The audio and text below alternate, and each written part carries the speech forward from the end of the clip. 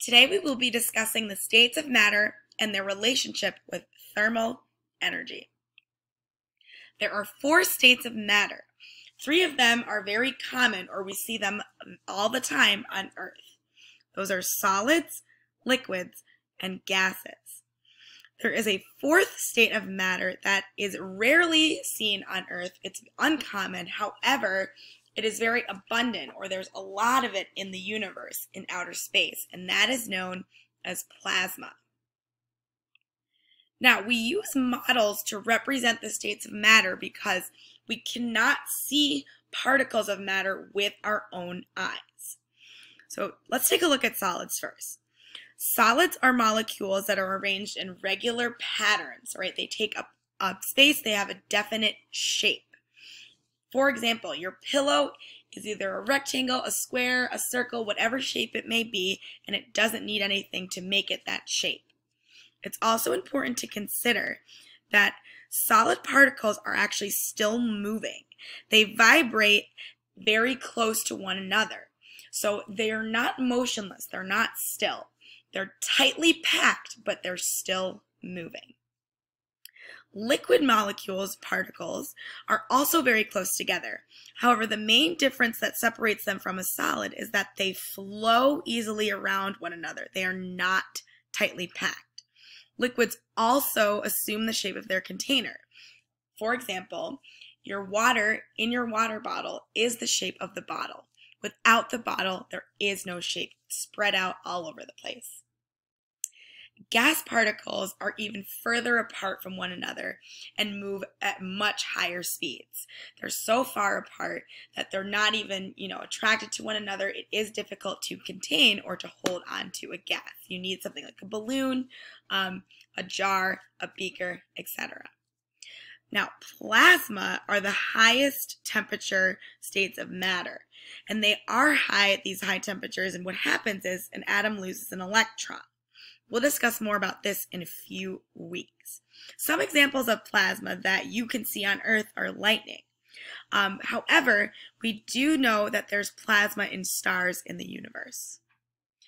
Now, going back here, I want to just show you this diagram again. It says increasing energy. You're going to see the same type of diagram here. Now, how is this energy increasing?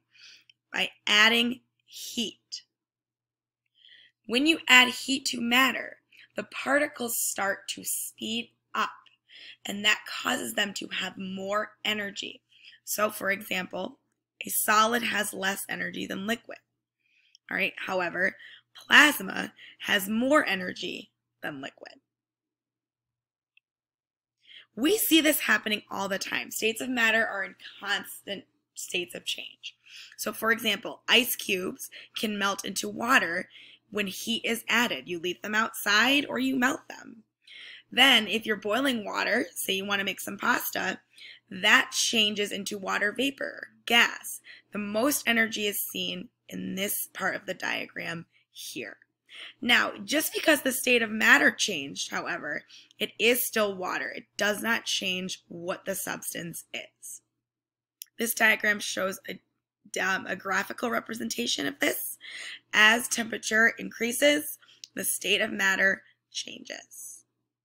This is also a very important diagram to consider because up until this point, we've talked about how heat is added and energy increases.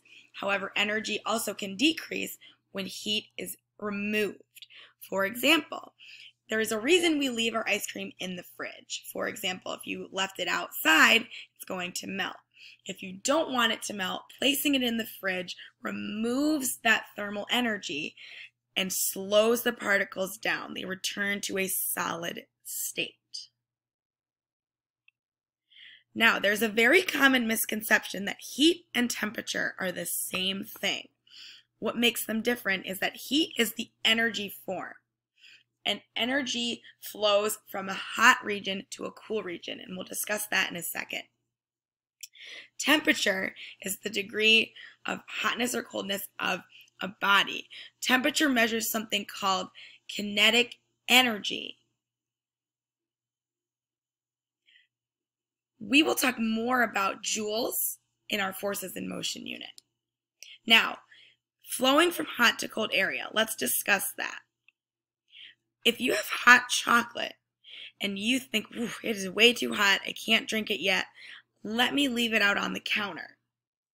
You come back, say half an hour later, it might not be hot anymore. It might be room temperature.